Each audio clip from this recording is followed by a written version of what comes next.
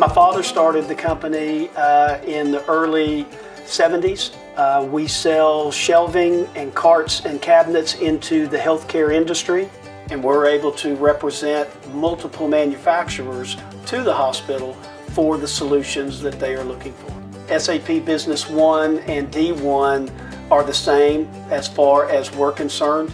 Uh, when we have any issues, any glitches, the information I need is there. I didn't. Uh, we have queries, so we have we can write queries to to get the information we need, however we need it. Using SAP, it has our contract number, it has the quote number, it has their dates, it has all the way around. Using SAP Business One makes our life much easier. I do believe it has the robustness to be able to help us grow with the company to be able to handle more and it, I believe it'll keep up with as much as we put into it. I like to think that the future for storage systems is going to be the same as it has been for the past 10 years. And SAP again has is robust enough to be with us as we go into the future of selling into the healthcare market.